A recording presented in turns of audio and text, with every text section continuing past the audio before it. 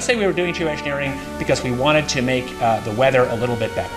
There will be monsoon failures during that period, there'll be huge hurricanes. The global studies indicate there will be some impact on precipitation patterns. Might involve large-scale regional agricultural disruption lasting a number of years. Potentially, 2 billion people could have their food disrupted by such interventions. That the aerosols can, at least in these model simulations or indicated by these simulations, can offset most climate change in most places most of the time for both precipitation and runoff. But it's likely to cause some damage in some places.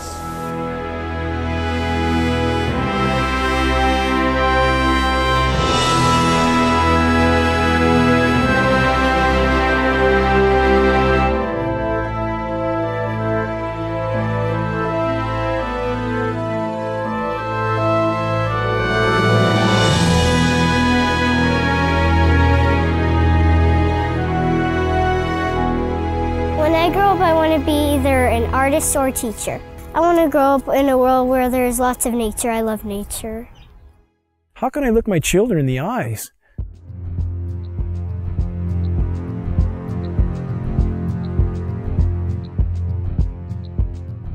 And not try to shed the light on this issue, knowing every breath they take is, is laden with these metals. I have been forced to conclude that there is no greater or no more immediate threat to anything that lives and breathes than the global geoengineering programs short of nuclear catastrophe. Geoengineering is defined as the artificial modification of the Earth's climate. Geoengineers are proposing spraying 10 to 20 million tons of toxic aluminum and other substances into our sky for the stated goal of cooling our planet. So let me distinguish these two different uh, kinds of geoengineering as clearly as I can. So the first one is we call solar radiation management, and that's the idea that you could put reflective, mostly reflective particles or other means to make the Earth whiter, effectively to increase the Earth's reflectivity, reducing the amount of, of, of heat that's absorbed by the sun, and therefore exerting some overall cooling tendency on the Earth. I think, the, though, the initial results of climate models indicate that reflection of sunlight away from the Earth can offset most climate change in most places most of the time. But it will damage some places.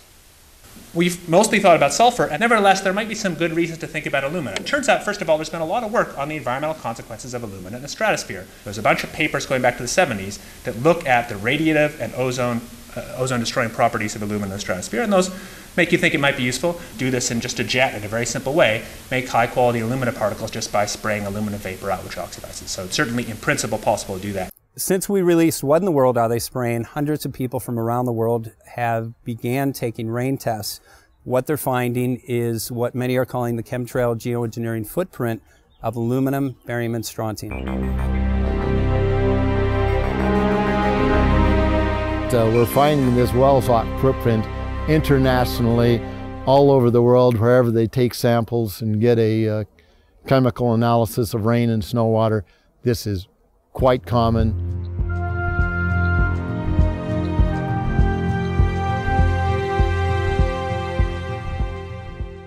Wherever you see the jet chemtrails go over, you're going to get aluminum, barium, strontium coming down on you.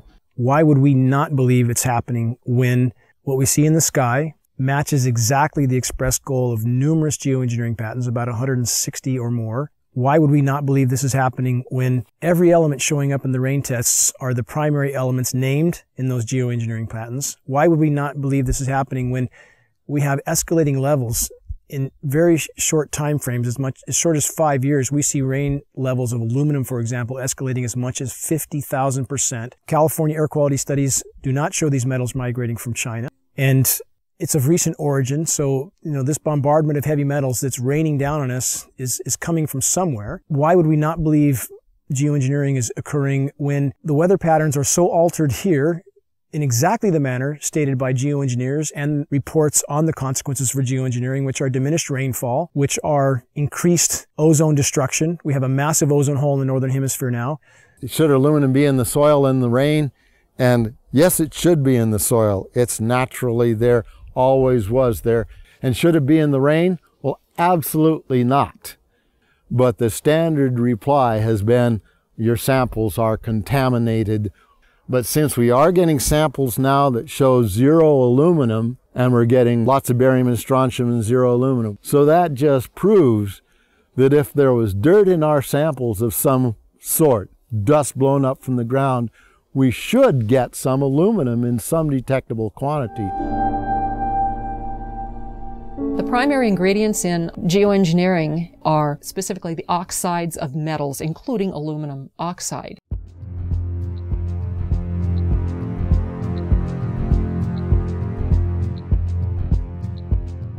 This is devastating to plants, totally devastating. The trees are dying. Why? Approximately two years ago, I rode in the back, and you can ride in the back of my place for miles. You can go all the way through the woods, you know, creeks and everything, and it was, I say was, gorgeous. And the day before yesterday, I took a ride, and I rode in the back, and what I found was total devastation. As I pointed out before, Michael, we're seeing as in this example here, very hardy native plants completely flash out dead. That looks like it's been hit with some kind of a chemical. And we've only seen this in the last couple years. And there's another one there, there, back over there. We're seeing mature madrone trees, which are 70, 80 feet high, flash out dead, just like this. USDA refuses to investigate it. The pH typically around here should be about 5.6. Well, since the contrailing got heavy, I watched the pH here in these forests, well, go up, I guess would be the word. From 5.6, it went about 20 times more alkaline. Very big red flag of fallout from these materials are pH changes to the forest floor. We have very extensive studies from the U.S. Department of Agriculture on the soils in our region, and those soils have changed in five to six years. The pHs have changed in this in this area as much as 10 to 12 times toward alkaline in five to six years. I've personally been in the forest testing with USDA soil scientists who just scratch their heads and seem to have no explanation for incredibly profound changes in pH, which is affecting the ecosystem here tremendously. Aluminum buffer action, aluminum hydroxide is what we think it is, uh, plus the uh, barium carbonate, strontium titanate, strontium oxides, barium oxides, probably some aluminum oxides in there, that this has apparently driven our acid soils about 20 times more alkaline to about 6.8. There are simply too many dots here that connect. Our skies are almost never blue anymore. That is a named consequence of geoengineering. The amount of lost sunshine hitting the planet right now is beyond belief. If people look up the term global dimming, they will see that fully 20% of the sun's rays that reached the planet several decades ago are no longer reaching the planet. I mean, that's a profound change that few people even know is occurring. And you have very visible occurrences in the sky from the aircraft, a very visible sun blocking, expanding, dingy trails that are exactly what geoengineering patents describe. Heavy aluminum, I'm talking like in the 40s and 50s up to three, four, five thousand. That's still common. Uh, barium, strontium to um, oh somewhere 40 or 50 to again about two or three thousand. Same for both barium and strontium. Where is this mountain of metal coming from? Why is asthma, ADD, Alzheimer's, autism, all elements related in many studies to aluminum or particulate inhalation. Why are these, why are these ailments going off the charts with no apparent ex explanation? Why has respiratory mortality in the continental United States gone from eighth on the list to third in six years? And no one seems to ask any questions why everybody, uh, every other person has uh, asthma now, why every other commercial on TV is a, is an allergy medication. And again, uh, when, when David Keith, the world's most recognized geoengineer, was asked on the record, had there been any studies done as to the consequences of dumping 20 million tons of aluminum into the atmosphere, his answer was patently no. While geoengineers claim that their models are to cool the planet, uh, a number of studies now are arising that indicate, yes, temporarily there will be regionally cooling as these uh, particulates reflect the sun. However, they actually at night act as a blanket and will warm the planet. So the question now remains why in the world are they spraying? One of the things that geoengineering is about when you're environmentally doing something with the atmosphere is that you can be engaged in weather modification. Historically, weather modification in the United States began to be looked upon in the 1940s as something that people would want to do.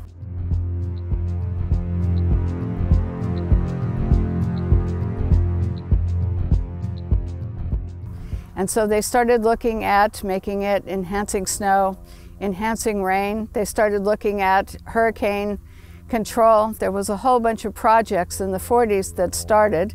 One was Project Stormfury, which turned into a disaster when they tried to modify a hurricane. I'm Mark McCandlish.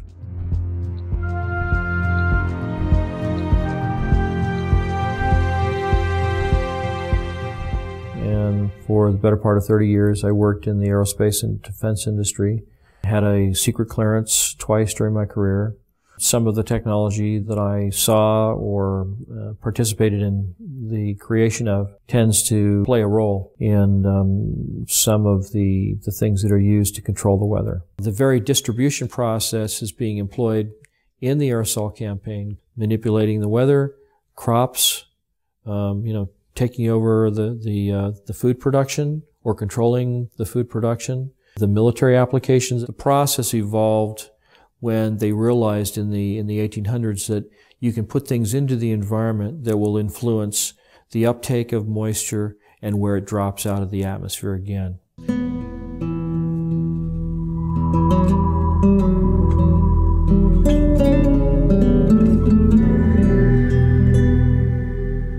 Name is Scott Stevens.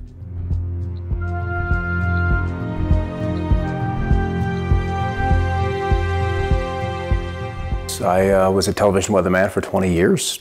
These chemtrails are absolutely required to impact whatever weather event they were designing. And the trails were an absolute necessary ingredient for them to achieve their weather modification goals. So we're finding the aerosols, the metal particulates, all of those can be used and, and leveraged to create weather events that are several standard deviations or outside what would be typically normal. When the geoengineering really got underway with the Russians in the mid 70s, we ended up with snow in Miami. We ended up you know, with frost deep into Mexico. You know, the bizarreness of the weather really exploded on the scene when, uh, when weather engineering got going in the mid 70s. The Dakotas in winter, they recorded a temperature of almost 100 degrees, 94 degrees. It broke the former record by 32 degrees.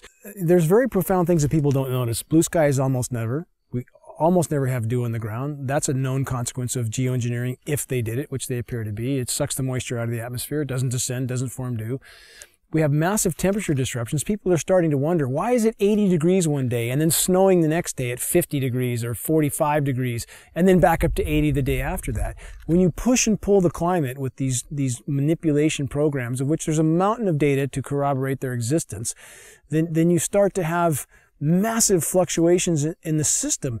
And we saw in March in the continental US, there were 15,232 temperature records broken. That's profound. Some of the daytime highs, the former records were broken by as much as 32 degrees. Don't people wonder what in the world is going on? Whether they want to make it snow at 45, 46, 47 degrees. I remember when 38, 39 was a big deal. Those kind of snowfalls in the upper 30s. And now that's been pushed into the 40s. There's a patent called Ice Nucleation for Weather Modification. This is a patent from NASA. It can be found online in its full form. This patent is for the creation of artificial snowstorms from what would have been rainstorms. However preposterous this sounds to people, if they look up Chinese create snowstorms, they will find a, a, a long list of articles where the Chinese Bureau of Weather Modification openly admitted that they were creating snowstorms until they did a billion dollars worth of damage in Beijing. So my question would be if the Chinese can do this, and NASA has a patent for the same purpose, why would we believe snow events here are natural when it's snowing now regularly at 45 degrees, sometimes 50 degrees, heavy, wet concrete snow that's full of aluminum, full of barium, full of strontium. Consider the ice pack in their first aid kit that can sit dormant at room temperature for decades until the chemicals are mixed together, at which time it creates ice. As an on air meteorologist, I had a responsibility to my audience. There were storms that were not behaving as they were modeled or they historically would have re responded. If you can control where moisture is collected and where it's dropped, so to speak, in the form of rain or any other kind of precipitation, then you can really, uh, you can do everything. You can steer the weather system. If you want to be able to manipulate the weather, one of the things we know about the materials that are being used in the aerosols, we, we've seen everything from aluminum oxide, barium salts, strontium, copper sulfate, uh, potassium iodide, um, a number of different kinds of things, each of which have different levels of reactivity with the moisture in the air. Some uh, like aluminum oxide, tends to sequester the moisture. The aluminum oxide nanoparticles, which are microscopically fine and uniform in size, uh, attract the humidity, the moisture in the air, and they can. It basically forms like a nucleation process where the moisture condenses on these particles.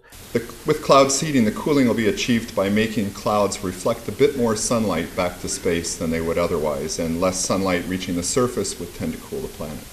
These aerosol particle act, particles act as something called cloud condensation nuclei, and um, this is, these are sites where these particles act as sites where cloud drops can form. Well, the one thing that we know has happened is because these are nanoparticles and they float like mad with a little bit of uh, moisture added to them, they go over the continental divide and they dump all of California's rain into the Mississippi Valley, which is the reason they're having floods and tornadoes and fierce storms and odd weather back east.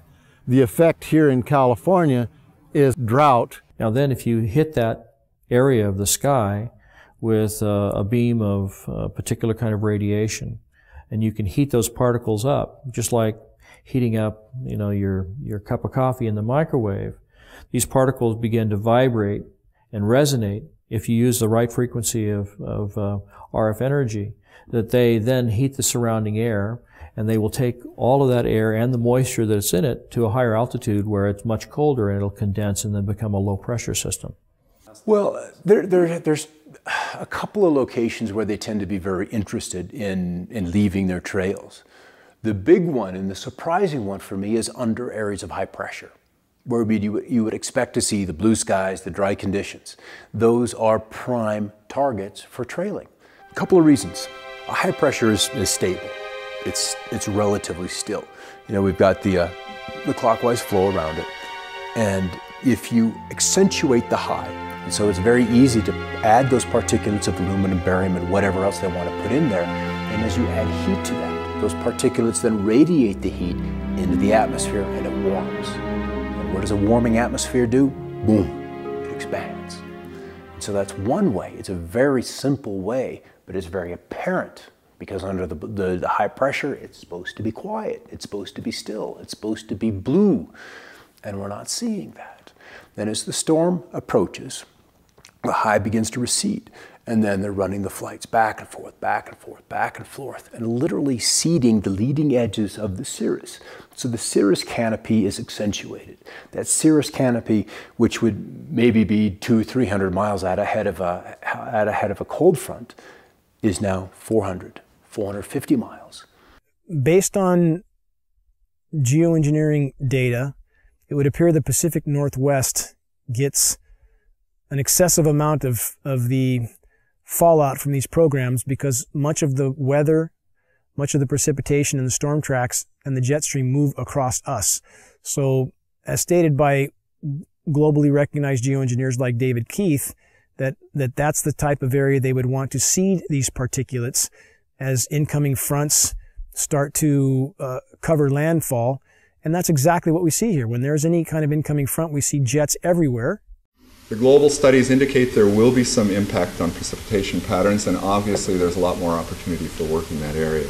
After studying my time-lapse surveillance, one of the reasons I discovered for the trails was that the persistent ones would break, they would misshape it or deform, and other planes would come along and precisely mark off those locations of, of deformation. And you're not going to get that with a regular fleet. So this had to be uh, one of the primary purposes for chemtrails, in my opinion, was to measure off where we have these discontinuities showing up in the atmosphere. And in doing these actions and discovering those zones where there's different energies in the atmosphere, I think that plays very closely into their weather engineering programs of mark, surveil, and then that data goes into, into a weather model that they can then use to forecast or, once again, engineer the weather to their designs. But you can also uh, influence what happens locally with the atmosphere by um, painting the materials that these aerosols are made of with different kinds of radio frequency or RF energy, radar, microwave, the HAARP system. You know, HAARP is um, uh, an array, a field of antennas, uh, radio frequency antennas. They're 72 feet tall, and they have a cross dipole across the top that's about 60 feet in each direction. 180 of these are in the array uh, today, so you can imagine this field of, of uh, antennas what happens is by firing uh, each one, they, they produce radio frequency energy that normally comes off of an antenna, spreads out rather rapidly. Same principle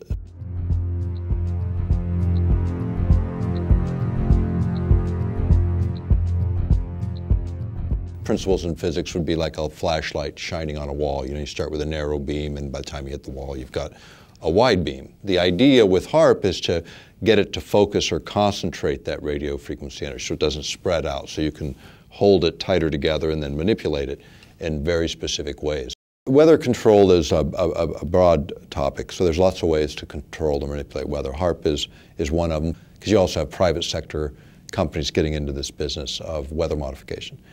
In the case of HAARP, do you need, uh, people always ask me, you know, do you need uh, particulates to burst in the atmosphere to, to make more effective? You, you actually don't. Uh, would it make things more possible? Could you enhance certain effects? Probably so. Could you control energy distributions more efficiently? Probably so, because you're putting in conductors or you're putting in reflectors, you're putting in uh, particulate material. If you've ever experienced a hailstorm and you've picked up one of the hailstones and you slice it open with a razor blade, you'll see that it's layer upon layer upon layer of ice. Now, hail is usually formed where you have a low pressure system where there's a tremendous updraft of air. The air gets warmed up by the sunlight ahead of the storm. The air rises. It takes the moisture that's in the air up to a higher altitude where it's much colder. The uh, moisture begins to condense into water droplets, but the updraft is so powerful that the water is carried to extreme altitudes where it freezes. And it begins to fall. And as it falls, it it starts to be caught up in the updraft again, so it's circulated up into the air again. And so each time it's, it's lofted up into the atmosphere, more of the moisture that is condensing on the outside of this, this nuclei of ice begins to form another layer, another layer. And each time it's caught back in the updraft, it goes up again and it gets another layer of ice. And so if you have a system like HAARP working in conjunction with aerosols, uh, chemtrails that are spraying in the air, you can actually create updrafts that are so powerful that you can have these hailstone circulation patterns going over and over again, where you get hailstones the size of baseballs or even softballs.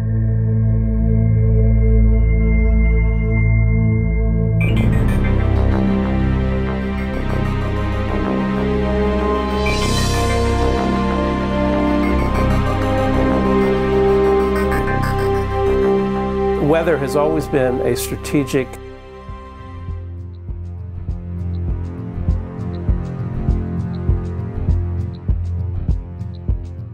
desire to control by the generals, whether it was uh, Napoleon marching towards Moscow or Hitler in his Russian campaign, or our own Pacific Fleet trying to uh, understand typhoons and use them uh, for our strategic advantage. War and weather are very closely connected and they've been connected ever since about 1812 or so, maybe earlier than that.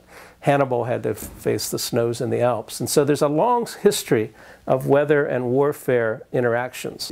Environmental manipulation is like the ultimate um, method of covert warfare because you can literally shut down food production. You can create a situation where the people within a country revolt against their own government. And you're invited into mop up the mess. The issue of owning the weather by 2025, which is a military publication, we've quoted it as far back as, I think, 94, 95 even. Um, but you go back to these earlier reports and you look at sort of what was the objective, and the objective is exactly that, control the battlefield environment. Uh, environmental factors give you an absolute advantage. Uh, if you can weaken your adversary before you have to fire the first bullet, maybe you even win the war. Whether it's incredibly historic sandstorms when we're invading Iraq, or you want to drought out or flood out a dictator that you're not happy with, or obscure a beach when there's a landing, or if you just want to make money on the futures market. Owning the weather by 2025, using uh, the weather as a force multiplier. And this kind of goes back to what I was saying before about if you can, if you can control where a weather system goes and how much or how severe the weather system is, then you can do other things uh, like um, you may have heard more recently that many of the aircraft that we've been developing are what they call all-weather capable, which means that they can fly in any kind of weather. They can shoot and target the enemy under really nasty weather circumstances. Um, and these are all things that you can use to your advantage if you happen to be controlling the weather also, because you can have a terrible storm front come in and make it difficult, if not impossible, for the enemy to operate on the ground or to fly their aircraft if they don't have uh, aircraft that are as sophisticated as the ones that you have. And so by creating uh, or using the weather uh, as a force multiplier, as the title implies, that you can achieve an advantage over an enemy force that gives you the upper hand. One of the ideals of the, of the Air Force is to have this all-weather Air Force or to have their pilots uh, coming back safely and using the weather as a salient against the enemy and clearing out their own airports from, say, from ice fogs or from, from bad weather. And so if we could, if, if the idea here is that if we can fly and they can't, that's a great military advantage. Uh, there was also um, research studies on hurricanes that the scientists were truly curious about the behavior of hurricanes, but their military patrons were very interested in how to steer them or direct them in certain ways, almost as a, as a guided weapon. This uh, jet stream that's moving across and it shoots 50 miles north and then 75 miles east and then drops back south again, then kind of goes on its way. And they attributed that little dog leg in the jet stream in Alaska to swinging storm systems out of um, central Texas into uh, central Florida where they deposit a couple of tornadoes in the middle of Orlando that were like really rare to see in that part of the country. And so people remember that event and they remember that situation. But it'd be a good example of a very small change in Alaska in terms of a jet stream and what kind of a lower uh, 48 effect uh, that would have. And that's again where weather modification, um, small input in one place can have tremendous uh, change and unexpected outcome in another. You can create uh, weather systems that are so severe they uh, culminate in battlefield denial, uh, where the enemy is not able to use the roads or the bridges or, or get through the environment because the weather is so severe. Um, and you can, you can use the weather to destroy his crops, uh, deny him a food source, destabilize his population because people get hungry. When they're hungry, they get angry and nasty and they don't like what's happening. So there are lots of different things that you can do with the materials. It's all how you use them in the environment, how you apply it. One of the biggest concerns of early cloud seeding, uh, weather control activities by the General Electric Corporation came from their lawyers who thought that the corporation was totally vulnerable to lawsuits because if they started to make fair or foul weather, the people down below in Massachusetts or downwind of uh, Schenectady could uh, institute massive lawsuits that could put GE out of business. So the, the first response to weather control from their in-house lawyers was to shut it down, was to give it, the project to the military and ask them to do it, with the GE lawyers only being the consultants on the project. So they were allowed to uh, suggest and, and uh, design certain activities, but they weren't allowed to touch anything or throw anything out of the plane. The United States government during the Vietnam War perfected weather modification techniques and also they perfected releasing toxic chemicals like Agent Orange over many areas to defoliate land, trees, grasslands, and other areas. But this is uh, technology that does come up, and it comes up when, when, when you see that the technology advanced far enough to where the practicality of utilizing it in the battlefield environment and the, and the temptation by administrations. I mean, the, the best covert war is using the environment itself uh, against your adversary. It was a military moment, and it was actually from pretty recent history. And this was the U.S. military um, thinking that they might be able to control the, the monsoon over Vietnam during that conflict. Uh, and so only a few, a handful of uh, top level military advisors and the president were uh, informed that they were going to try to, to make it rain over the Ho Chi Minh Trail and try to have some military advantage by doing this kind of intervention. When you start talking about manipulating the environment, we have treaties that go back to the mid 70s that forbid this, number one, as weapons of war. So the perfection of weather modification took place, but it became apparent that using weather modification for wartime purposes was not acceptable to the United States government and other nations of the world. So therefore, the ENMOD Treaty came into being and was signed by the United States government after passing Congress. The reason it was signed and implemented was because it would ban warfare, weather modification techniques and use during times of war. Almost all of our treaties that we've signed, including the non-proliferation, counter-proliferation treaties, chemical treaties, you know, the ones that were signed recently, last few years, uh, you know, back uh, maybe a decade now, I guess time goes. But uh, they had domestic exemptions, uh, and so does the Environmental Treaty, uh, where you can do whatever you want in your own territorial boundaries. When you start manipulating weather in one part of, a, of the planet, it doesn't look on the ground and say, oh yeah, wait, this is the boundary of a political boundary. It fails to recognize those. So you start to talk about uh, geophysics and manipulating the planet itself then it's a question of those kinds of exemptions shouldn't even be allowed. Meteorology and the military have a very long history, as I said, and it goes uh, into the strategic advantage that multiplies your, your traditional force, that is your, your armament, into uh, using nature to your advantage as well. They want to create a, a storm in the southeast, then they'll start engineering out over the North Pacific. That's where the trailees will be because you want to work out several days ahead of time so you have less input and you multiply that over a couple of days, you can have a big result in, in five days' time. So small input upstream, big result downstream. And one of the rules is always work with what's coming. Don't try to necessarily work against it. You can kill a storm in place. That's easy to do with HAARP. You just change the polarization, you change the ionization of the atmosphere, and the storm will fall apart. It will affect the the setting up of the storm tracks, the jet stream, the location of the storms. And so you end up with a, an intervention on the solar side of things would uh, pretty directly begin to affect the weather patterns. And so climate control or attempted climate control and weather control rely on this very large spectrum of intervention. It's also true that if you can forecast climate, you can control a lot of futures markets and you could know if you had the best information or if you had some leverage over what the climate system is going to turn out to be, you would be able to invest in advance in all your crop futures and your agricultural activities and, and not just agriculture but weather effects. I think it's something like 80% of the US economy is weather sensitive and so all kinds of businesses would like to see some weather edge, some uh, advantageous uh, information that they would have. It's absolutely entirely possible to profit from uh, uh, the weather.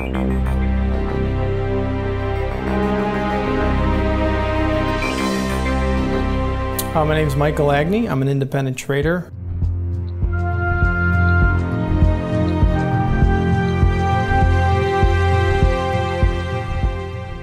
Trading commodities at the CME Group member of the Chicago Board of Trade and have traded derivatives and futures cash for over 15 years. Uh, weather derivatives are financial instruments that firms would use to hedge risk concerned with uh, adverse weather conditions. The first weather derivative was originally traded by Enron back in 1997. Weather derivatives started in 1999 at the CME Group. Big utilities, reinsurers to hedge against hurricanes or tornadoes or flooding, some, some sort of catastrophe, hedging uh, against a cooler summer or a warmer winter. Let's just say I was insuring a product for 5 million, no matter what it was. Let's say if I was a utility company, a farmer, whatever it was. Let's say I had $5 million worth of crop, but I can do derivatives that are worth double that amount and I can control the, the effects to where I collect on the insurance that's worth 10 million as opposed to selling the crop for 5 million, yes, I could definitely profit from that. 2010, 2011, Southern Illinois, Missouri, those, those, you know, we had a high peak of tornadoes and and those types of adverse weather conditions definitely raised the price of commodities as well as drove the volatility, which also raises the price of commodities. You're going to make more money if a crop fails. You're creating insurance that's over the price of what your crop is worth, let's say. So if you can control the weather, you control how these products grow. And if you had an insight to how these products were actually seeded and what products you use to actually grow those items, corn, soybeans, and you can control that market, it's unlimited profit potential if you can control the weather. If you want to send, you know, cold into the Midwest, you buy up pipeline capacity, you buy up options on heating and cooling degree days, you buy derivatives off of, off of rainfall. There are mechanisms that you can make hundreds of billions of dollars annually and defray a huge chunk of the cost of this just on the Chicago Mercantile Exchange, playing with derivatives in the weather market.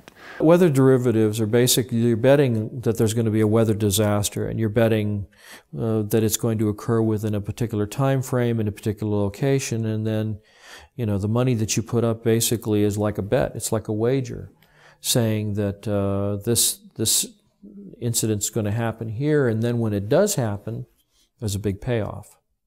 And that big payoff is something that motivates people to continue to participate in this kind of thing and maybe even feed the very process that's causing the bad weather to happen. Particularly if there's a connection between the people that are seeding the clouds and the people that are making investments. This is a new opportunity, it's a new tool for, for investors.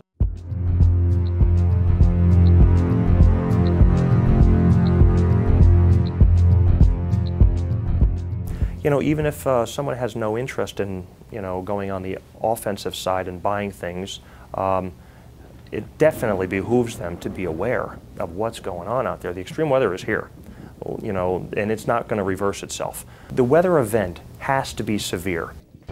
Ionospheric heating, in fact, these instruments, um, when they were first utilized, which is in the former Soviet Union back in the 70s, they, they started out then, they still call these ionospheric heaters because in one mode of operation, you can literally create above this instrument on the ground, you can heat an area 30, up to 30 miles in diameter in the ionosphere. So you heat it up, and by heating it, it literally raises it. So then imagine this column moving up several hundred kilometers out, and then the lower atmosphere begins to rush in and fill that vacant space, that void. And as a result, you're altering pressure systems for you know, quite a quite a distance, which of course alters the weather. You're also able, if a jet stream is coming in the air, you're able to alter its course. And if you alter a jet stream, even a small amount, then the swing factor on the other end, you can move it so you're moving storms, say, out of the Midwest onto the East Coast, or this kind of thing, by just swinging it high in, in, in, in terms of its flow and, and getting it redirected. Okay, so now if we look at precipitation, much has been made of this issue of of uh, damage from precipitation. Which the particulates that these trails have, have introduced into the sky are, let's just say the storms can develop more violently, more quickly, um, in places that are not necessarily as uh, where you would expect them to be. And so we see more flooding. We see more intense droughts. We see rainfall rates of one to, you know, two and a quarter inches an hour that are just bizarre. And sometimes even rainfall, you know, an inch and a quarter a minute is just unheard of. And so you have an area that's already been heated by the sun's rays, and then you have the aerosol drift in over that area, and it's reflecting both ways. It's reflecting the heat of the sun back out, but it's also trapping the heat that's already been created there by the sunlight. So it will actually create more heat and trap heat inside and closer to the atmosphere. It can actually exacerbate global warming problems. And if you become more aware of what's happening, where the global commodities are, what extreme weather events, you're one step ahead of them.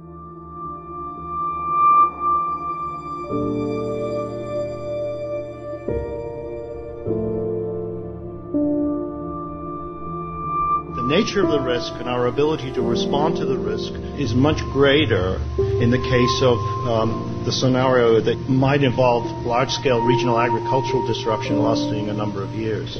So the agenda was drought. The agenda was to kill the storm, at least in that one particular spot. You see a tremendous and significant loss of property and uh, crop production. Uh, many times, this will cause farms to go out of business. And when farmers go out of business, they usually have to sell. And then, if there's somebody waiting in the wings to buy their land and then uh, turn that uh, land over to the production of genetically modified crops, you can see where there would be kind of a strategic advantage there. There's something that happened in the Midwest, and I'm sure everybody's heard about the flooding in the Midwest. And what happened is um, George Soros and his big corporate monolith went in and started buying up the farmland. So not only is it is it creating all these stresses, it appears to be a corporate land grab. In other words, when the farmers, the small farmers, go out of business, they're wiped out through these droughts and everything, then the big guys come in, buy up the land. And if you think of Western history, uh, there's a lot of it concerning water rights and even water wars.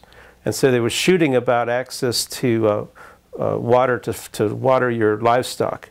And now people are thinking, or at least the people who are involved in weather control sometimes think about uh, uh, the river of moisture above our heads. And geez, if we could just tap that. But that, that too is a, uh, a, water right that would involve uh, access to, uh, to people that, that, that felt that maybe they had prior uh, rights over it. You're reducing the food security of people through deploying these kinds of approaches that potentially 2 billion people could have their food disrupted by such interventions.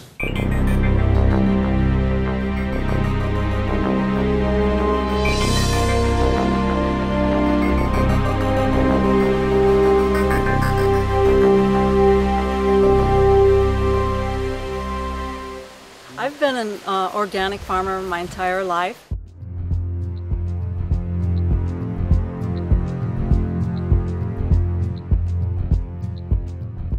And I've been, um, in the last eight years, been certified organic.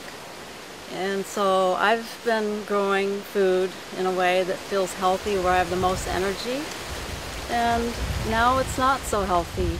I want to pass a really nice, healthy soil, rich soil, earth on to the children and have it be fertile. My name is Joel Gil Coca. I've been farming in this land for about five years.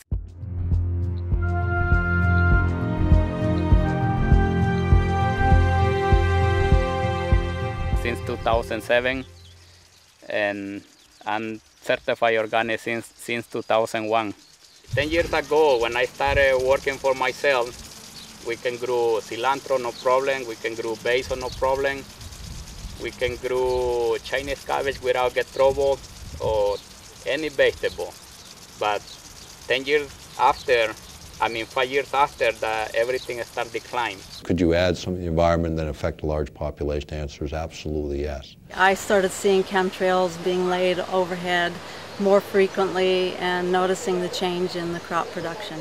What we see in our area, anytime there's convective clouds, anytime there's a large cumulus cloud forming and beginning to rise, we hear aircraft in the vicinity. We see them actually flying over these convecting clouds. And then in a very short time, before those clouds generally will drop any precipitation, we'll see the entire cloud more or less dissolve into what looks like a massive smoke bank.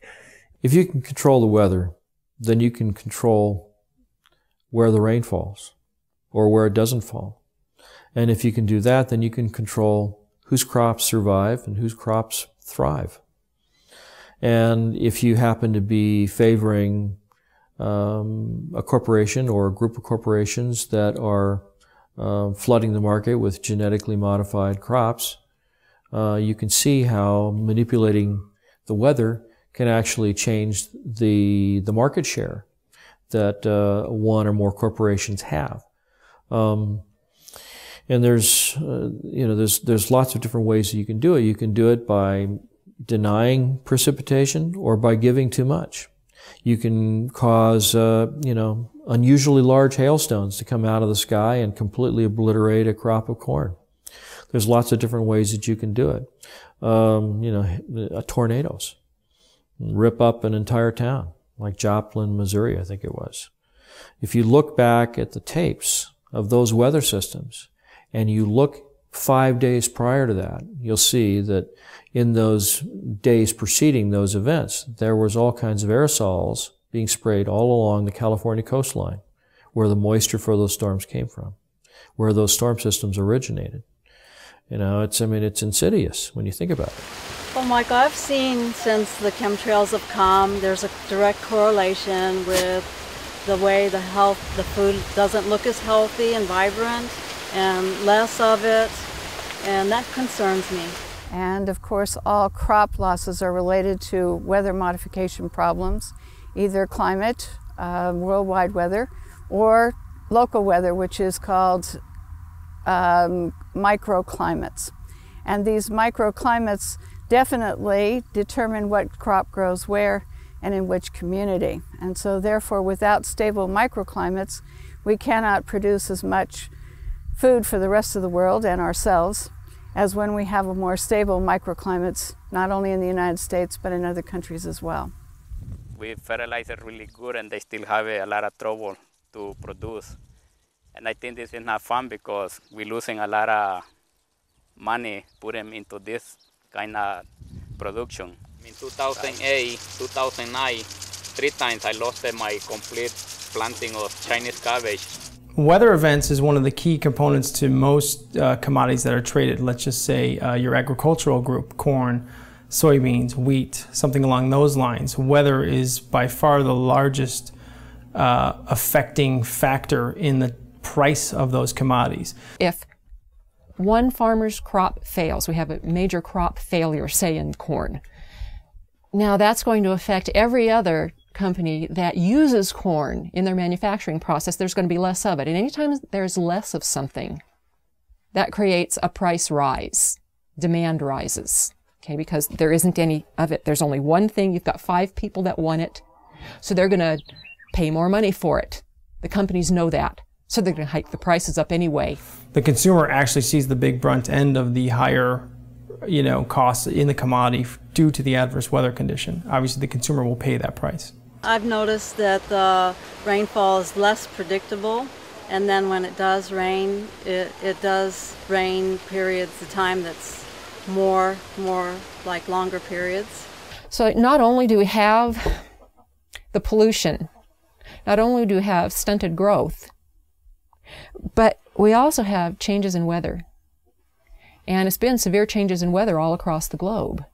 I don't have a clue how bad they are, but I know they are affecting already in the in certain plants, you know, like basil, cilantro, and sometimes the broccoli get too much uh, fungus.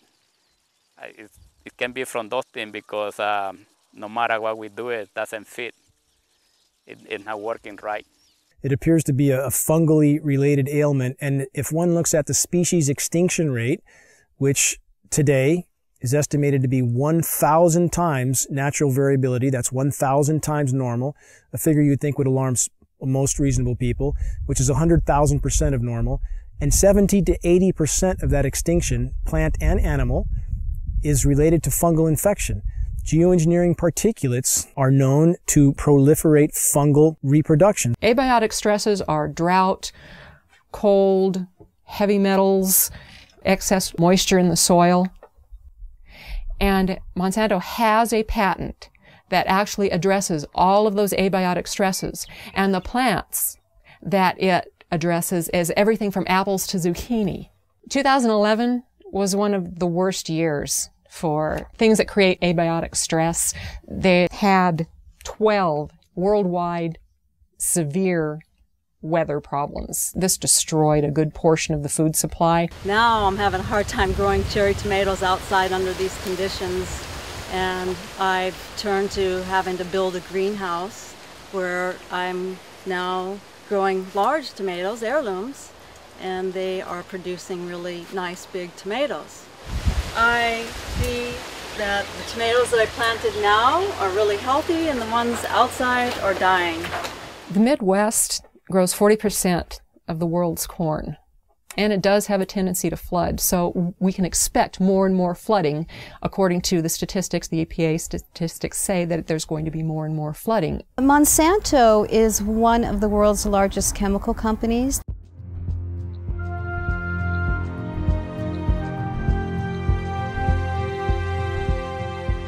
They also own 90% of these seed companies uh, in the world right now, and they are the largest uh, company putting out genetically modified seeds. So what does Monsanto do? Corn is the lead in because corn is in just about everything. Corn is the main crop. And Monsanto leads in with corn products before it does anything else. So what we have is Monsanto leading in with a drought resistant corn and an abiotic stress resistant corn. The drought and the flooding, it's all the same patent. Monsanto has a patent for abiotic stress.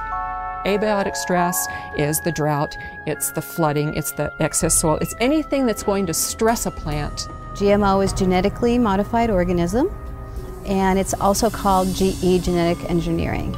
Well, the history of farming has been a farmer will plant a seed into the ground. There will be nutrients in the ground that will enable that plant to grow.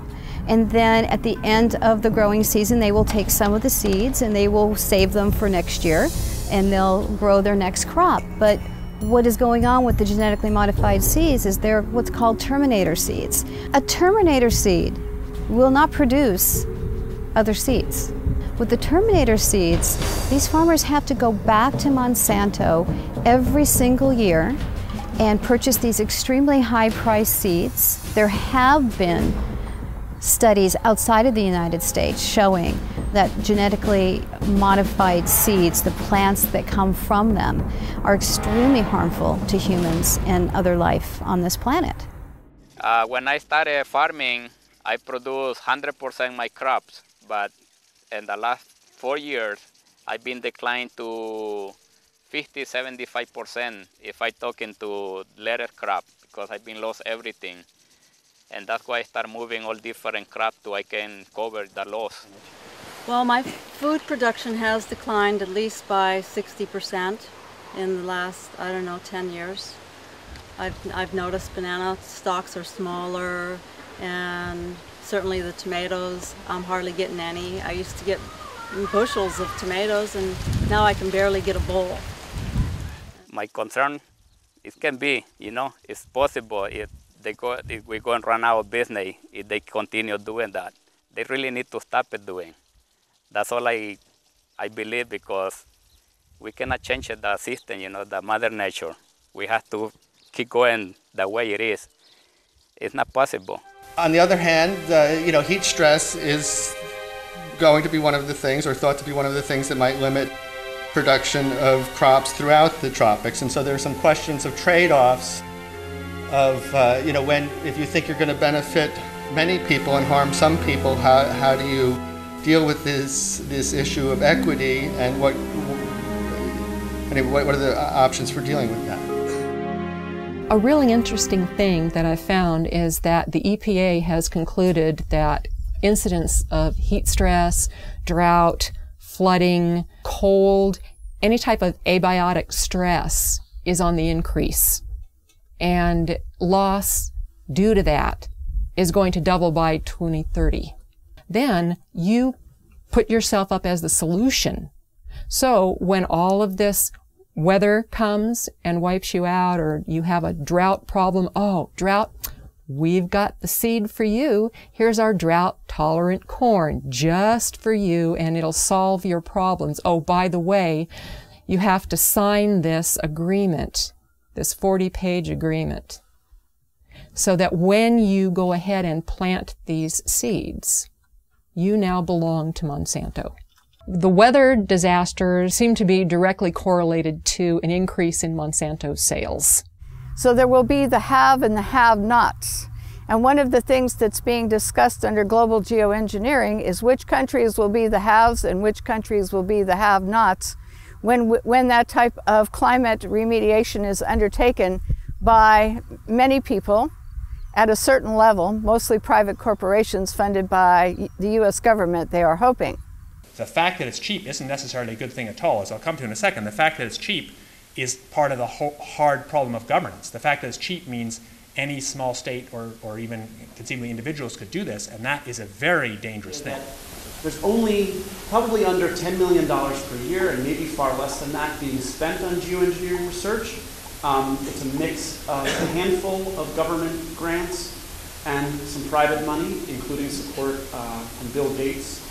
Bill Gates invests in geoengineering. Geoengineering destroys crops. Monsanto supplies the seeds to replace those crops. Bill Gates invests in Monsanto. So Bill Gates makes a ton of money, Monsanto makes a ton of money, and the small farmer gets squashed. Uh, corn prices go higher because of a severe drought in this country. Um, you know, where 41% of the country or the world's supply of corn comes from. So corn prices are higher, the farmer has more money, so what does he do? He buys fertilizers, which drives up the Mosaic stock, um, and or he, he could purchase genetically modified seeds from Monsanto. You've got severe, severe drought in Africa. In 2011, there was severe drought. This is causing nothing but death. It's causing starvation. It's causing malnutrition. It's causing a severe water shortage. How do you grow anything without water? You cannot grow anything without water. So what does Monsanto do? They say, oh, we got a drought tolerant corn for you. There's been an excessive push to get bioengineered crops into Africa. They look at severe conditions as an opportunity. They're disaster capitalists. Okay, so here you have farmers and they've got flooding, they've got droughts, they've got everything that totally wipes them out. So what happens? Okay, if they plant it early enough in the year, they can go ahead and try and plant again. So buy more seed. Okay, buy Monsanto seed. So they're just raking up on that end of it. Okay, so if you can create enough weather manipulation, you can shorten growing seasons, you can create enough of that disaster, and you've got the seed supply, they've got to come to you.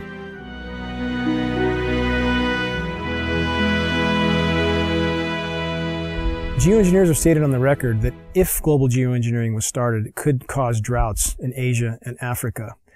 And they state that to the American public for probably obvious reasons. Why would they tell the American public that it could also cause droughts here? Why wouldn't it cause droughts here? There's nothing special about America and, and the geography here that would not have the same effect as Asia and Africa. If the atmosphere is filled with particulates, those particulates diminish and disperse rainfall period. There's too many condensation nuclei, so the water droplets do not combine and fall as rain. They simply adhere to those tiny particles and migrate further, and that's exactly what we see. One of the suggestions about geoengineering has been that we genetically modify trees and plants. Um, we genetically modify crops to be aluminum resistant, and this is ongoing at this time. And part of the geoengineering scheme is to say we're going to put all these chemicals and particles into our atmosphere, which is going to cause air pollution, water pollution, changes in soil pH, and could disrupt agriculture crop production to a great degree.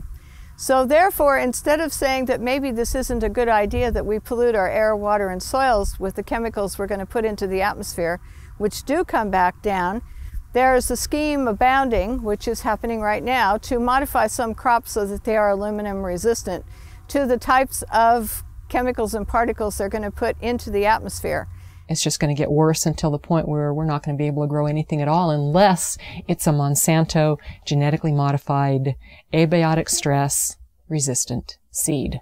The chemical companies and the genetic and, and Monsanto and all of these companies are working together to make us totally dependent on their products for growing corn or growing any kind of agricultural product or trees, whatever. We're going to corporatize not only where the rainfall goes and who gets it through geoengineering and weather modification schemes, but we're also going to say that these are the, going to be the only crops that are going to grow in areas where we're, we're putting in toxic chemicals that are coming down and altering the soils. One of the most basic things about human society is that we need food and water. And these are two of, two of the things that are, are most severely dependent upon good weather. Rain at the right time of the year, sunshine so crops can grow, not enough sunshine and they don't grow, too much water, the plants die, not enough water, the plants die. All of this goes back to the amount of food that's available.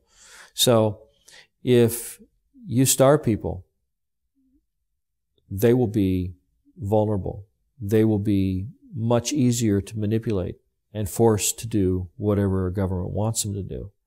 So if you control how much food there is or its availability through things like the weather or using the weather as a strategic tool militarily, um, you can, you know, dramatically influence what's going on in a country. And by doing that over and over again, um, sequentially through a region, um, it's possible that you can change the um, the political spectrum over an entire region by doing this over and over again. Um, maybe even you know do it over a much wider region, create so much instability that you're able to you know come in and say, oh, we have these wonderful fast-growing crops, you know, genetically modified, and and you know this you'll have you'll have something to eat in less than three weeks, you know. Um, and I imagine that, uh, you know, if you can control the food supply, that you can then consolidate the financial and the political interests of a country. Could predicting the weather enable a group or specific entity to profit from that knowledge of knowing what type of weather or weather pattern will be? Absolutely. That's what all commodities are driven by. They're driven by predicting the weather, how the weather will be in a certain location, and that directly is correlated to the price of that commodity. Absolutely. There's no doubt.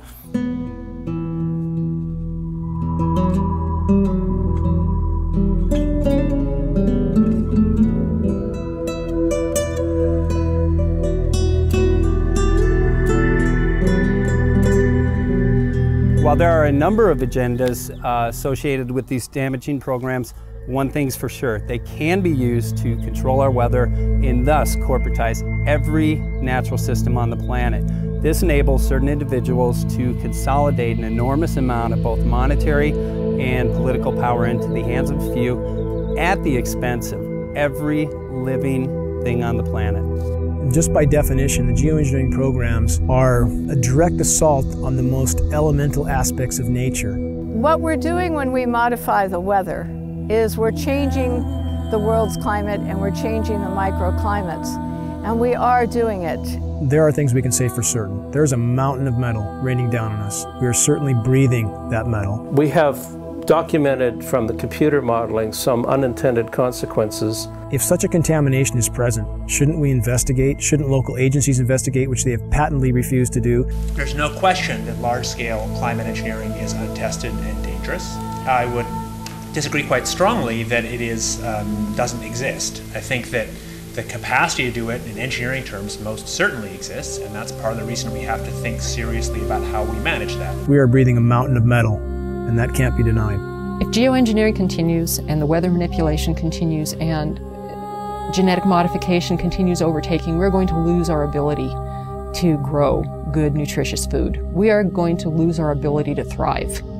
I personally consider this ongoing toxic dumping into our atmosphere to be, along with nuclear radiation, the most dangerous threats to our health and to our environment.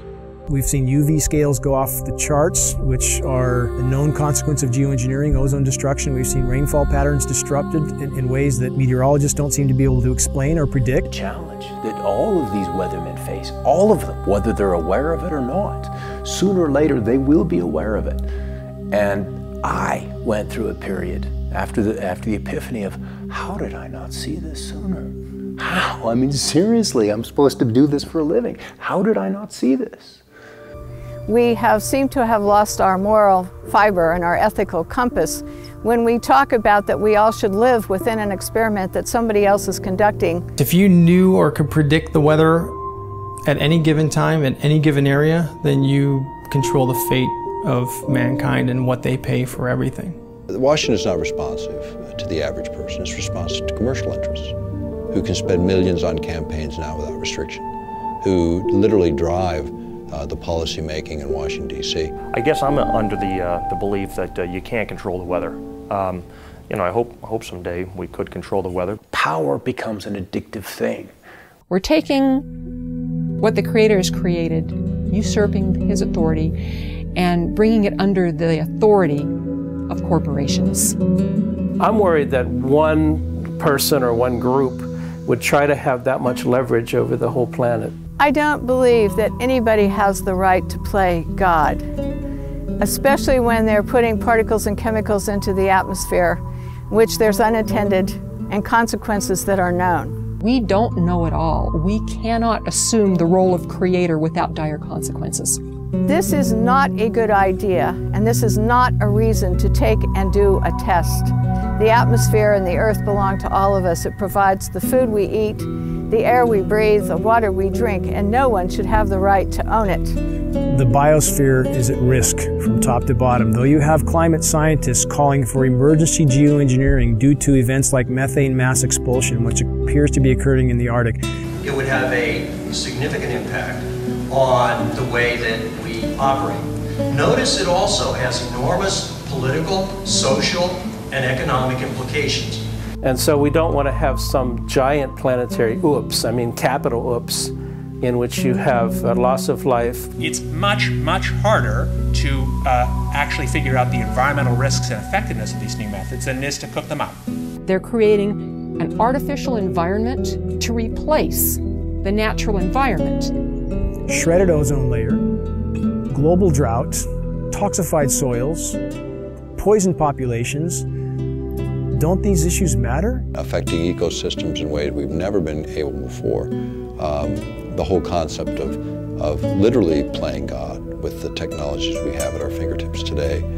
And however the climate changes, wouldn't we be better to let the planet react on its own instead of trying to play God? It doesn't have any benefits to society at all. It doesn't benefit the plant, it doesn't benefit the farmer, it doesn't benefit the environment. It's all about money, and weather is another form of commoditizing, a way the Central Command Group can commoditize another form of our life. At least the EPA has stated that there is going to be more weather, and they're attesting it to climate change. Well, I agree. It's changing. The weather's changing. Now, the real issue is, is it natural or is it man-made? And if it's man-made, who's doing it? Is it the geoengineering guys? That's what I believe the geoengineering continues, that whatever changes are happening to the planet, we will exponentially worsen those changes and poison everything in the process. And indeed, with the amount of metal falling on us, that poisoning appears to have been occurring now for quite some time. Why are you spraying that stuff in our sky? It's accumulating massive amounts of wealth in very few hands, and that's what they're trying to do in all aspects of these economies. The money's not worth it. This is my future. I encourage people to get involved in the projects they're interested in, whether it's this one or some other one. To thrive, we need to organize locally, nationally, and globally to expose and stop this practice immediately. Please quit free riding on our future. But do what you can do, and I think that's really the answer uh, for all of this, is recognize that there's a, a, network more powerful than the internet. It's a, a human race, and we are connected in a way that's quite powerful. The fact is, acting on what we know to be right and true, doing something um, about what we care about that we can do. Please tell everyone you know about this. Bring this message to community meetings, demonstrations, and other public events. The work we're doing will provide cover for others to come out. And I'm most interested in whistleblowers. Send this film to environmental, farm groups, media groups, ADD, Alzheimer's, asthma groups, and other organizations that would do something if they only knew. Because we just deserve a, a future. And if you control the weather, you're going to control the planet. It's that simple. Some people address this issue in fear, some people address it in anger. Uh, I address this in faith. Faith believing that we collectively, as human beings, as humanity, have the power and the ability to stop these damaging programs.